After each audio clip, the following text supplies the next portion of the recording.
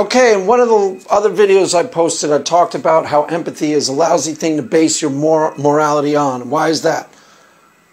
Well, first of all, empathy can be so easily manipulated, and it can be so easily thrown out the window when the situation is different. Empathy is something that is innate to you up to a degree, but it can be easily manipulated and easily thrown out the window. I can't tell you how many times I've seen the starving kid on TV and I just don't care anymore. I'll make sick jokes to, to, antagonize my wife. Honestly, I'll see starving kids on TV. I'll see news things on TV, and I've seen them so many times that I've become dead to it. So I'll say sick things to, to, to antagonize my wife. Honestly, if you've ever been to New York City, you'll see immediately. You stay there for a month, you'll see immediately how empathy can die inside of you. This is just a natural part of life. You, yeah, you feel bad the first time you see a homeless person in New York City. You stay there for three weeks and you become just like everybody else in New York City. Walk right by it. Why? Because you got other things to do. You don't care. Heart can't bleed for every single solitary person you see. But that's not really where I'm going with this.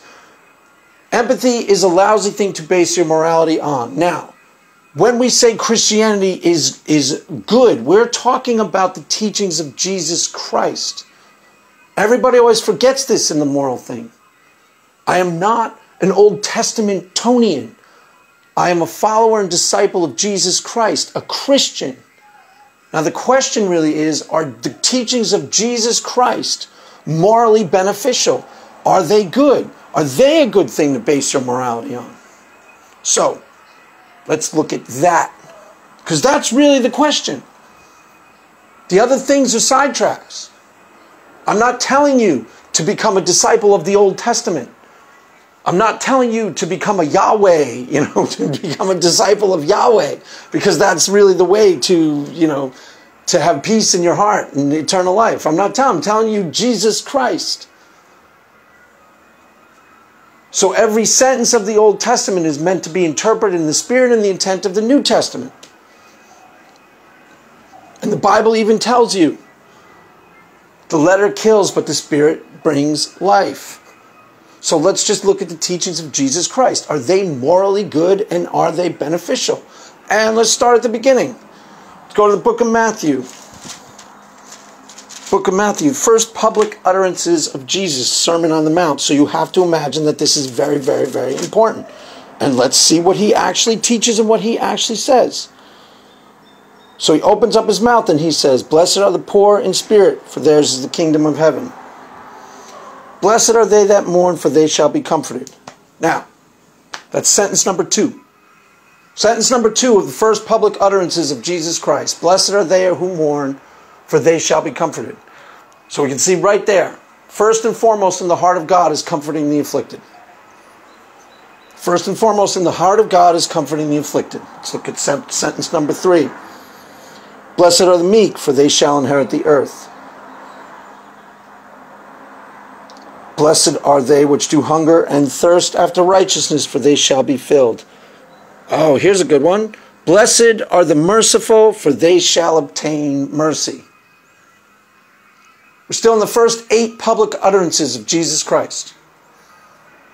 One of those things is, is about comforting the afflicted, and one of those things is be a better, more merciful human being.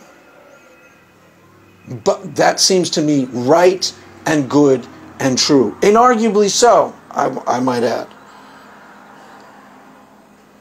Next one. Blessed are the pure in heart, for they shall see God. The one after that, blessed are the peacemakers, for they shall be called the children of God. Remember, these are the first public utterances of Jesus Christ. So God's priorities are that you be a peacemaker, that you be a merciful human being, that you purify your heart so that you're pure of heart. There's no evil in that.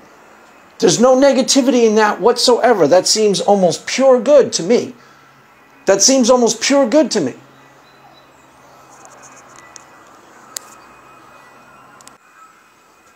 To me, it seems like the teachings of Jesus Christ, understood correctly and applied appropriately in your own life, are going to make you a better, more, mer- more merciful, more compassionate, kinder human being. Those are the fruits that the, that the teachings are supposed to put inside of you. Now, I know in my own life that happened. Also happened for my brother in law. My brother in law came to visit me, um, saw the transformation in me, and became a Christian right away, immediately. Very, very well educated human being, near genius actually. Went to Wharton School of Finance, has spoken before the World Bank, saw the transformation in me, and immediately became a practicing Christian. And everybody recognized the change in him right away. Said he was a better person, he was more merciful, he was kind. Christianity, understood correctly, is teaching you to be of service to other people. If you want to serve God, you're supposed to humble yourself and be of service to other people. So why why does that happen so rarely? Because it's hard to do. That's the other thing that Christianity teaches you. That's the point. It's not natural to you. This is why empathy is a lousy thing to base your, your morality on. Why? Because it's natural to you to be a hard hearted jerk, just like I said when I'm watching TV, or just like what happens when you walk through New York City. You can't bleed for every single person on the street. It just doesn't work like that. You start getting immune to it. You just don't care after a while. Your heart hardens. The reason why Christianity is not practiced so successfully, but is practiced so unsuccessfully by so few people, is that it is not organic to you. It is not natural. The Bible teaches you that the, the, the desires of your natural man are selfish.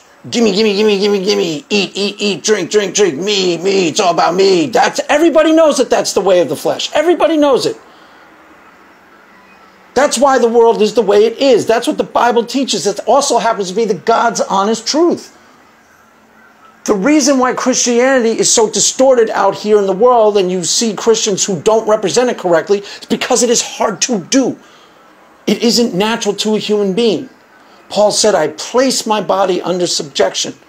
You're supposed to be crucifying the flesh so that you can better serve your fellow man and so doing serve God. Now, who amongst you knows anybody like that? Yeah, outside of me. no, not even me. Not even me. All have sinned and fall short of the glory of God. I put myself in that category. I do not consider myself to have apprehended, but this one thing I do, I press towards the mark of my high calling. No, not even me. Yeah, I can be pretty cool and nice.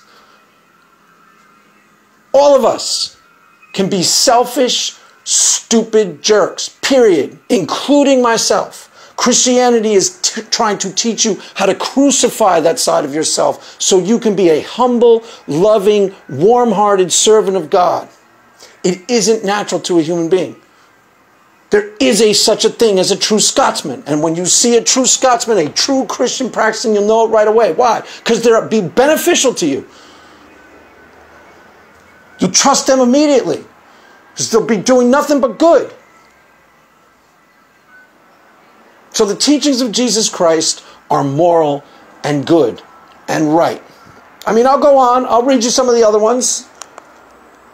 You know, I'm sure I'll find some opinions to the contrary.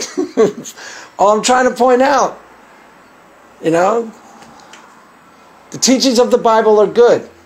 The teachings of Jesus Christ are morally correct and right the reason why they why you see them so so infrequently in operation is they aren't natural to a human being. But the things that are natural to us are not good.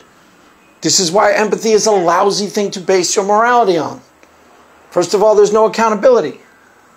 If I tell you I'm a Christian and I don't act Christian, you can hold me to account. You can say, hey, wait, your Bible says do X and you're doing, you're acting like an idiot. So you can hold me to account. Nobody can hold empathy to an account. And empathy so easily disappears given the right set of circumstances. So easy for your empathy to disappear. So, that's just one little point. I'll go further with this, but that's all for now. Amen.